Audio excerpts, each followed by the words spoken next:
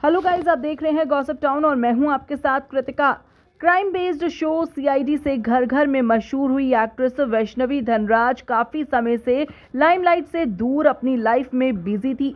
पर अब वैष्णवी से जुड़ी हुई एक शॉकिंग खबर सामने आई है जो कि उनके फैंस का दिल दहला रही है। बता दूँ आपको, वैष्णवी का एक वीडियो सामने आया है, जिसने सबको हैरान कर दिया है। इस वीडियो में वैष्णवी अपने परिवार पर गंभीर आरोप लगाती नज़र आ रही है।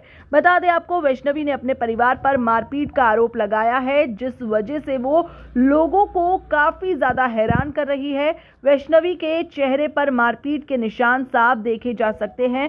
इतना ही नहीं, एक्ट्रेस ने कैमरे के सामने हाथ के निशान भी दिखाए हैं और वो सबसे गुहार लगा रही है और वो लगातार ये कह रही है कि उन्हें है फ़िलहाल मदद की ज़रूरत। बता दें आपको कि वैष्णवी धनराज सीआईडी के अलावा तेरे इश्क में घायल और बेपनाह शोज़ में नज़र आई हैं। बीते काफ़ी समय से वो किसी सीरियल में दिखाई नहीं दी, लेकिन अब जो उनका वीडियो सोशल मीडिया पर वायरल हो रहा है, ये वीडियो मुंबई के एक पुलिस स्टेशन का है, जहाँ पर वो लोगों से मदद की गुहार लगाती नज़र आई है। इन तस्वीरों में ना जो वैष्णवी धनराज है, उनकी हालत काफ़ी ख़राब दिख रही है। उनके हाथ और चेहरे पर जगह जगह मारपीट के निशान हैं और ये वीडियो सोशल मीडिया पर वायरल हो रहा है।